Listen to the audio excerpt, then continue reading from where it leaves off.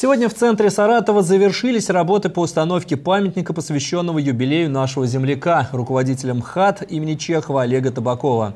Скульптурная композиция представляет собой кота Матроскина и подростка Олега Савина, персонажа кинофильма «Шумный день». Эти герои выбраны неспроста. Они напрямую ассоциируются у жителей с творчеством Олега Табакова.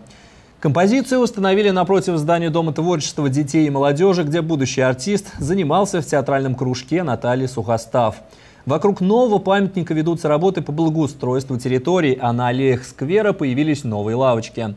Открытие памятника запланировано на завтра, 29 августа. Ожидается, что в церемонии примет участие и сам народный артист Олег Табаков. Напомним, установление скульптурной композиции приурочено к юбилею Олега Табакова.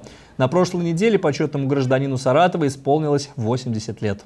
В принципе, у нас здесь над этим проектом работала инициативная группа достаточно большая. В общем, сюда входили и актеры известные, и художники, и театральные художники. И, и поэтому как бы принималось коллегиальное решение. Это место связано с Олегом Табаковым. Здесь вот рядом дворец пионеров, в котором он начинал свою актерскую деятельность. Поэтому здесь.